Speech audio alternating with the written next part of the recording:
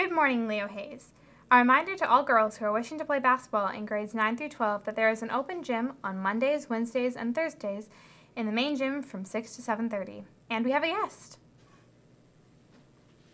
Good morning, Leo Hayes. It's Mr. Wilton here, one of the vice principals, and I want to remind you about one of our school rules regarding to safety. No students should be carrying backpacks around the building during school time, during classes, or break time.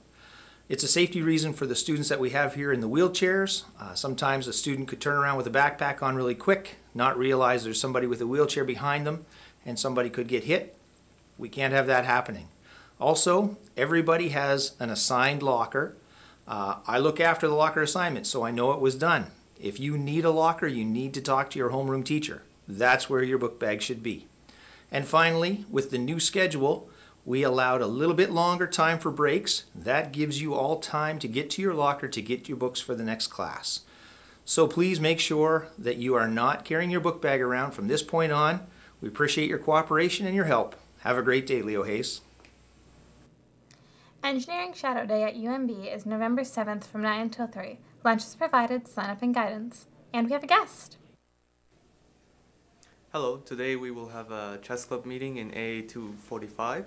All are welcome. Thank you. Are you struggling in math? If you would like to have a peer tutor help you once a week at noon hour, please talk to your math teacher who will pass your name on to Mrs. Grass. Any student interested in art club should drop by Mr. Legier's room this week during lunchtime to sign up for this year's program. New students interested in art club are welcome, so drop by Mr. Legier's room D210 this week to sign up for art club. And we have a guest. Hey guys, so there will be a math club meeting next Monday in Mr. Pearson's room. Also today for uh, music program, there will be uh, choir rehearsal at lunch hour and concert band after school. Thank you.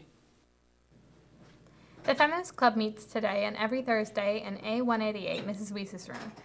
And those are all your announcements, Leo Hayes. Have a thrilling Thursday.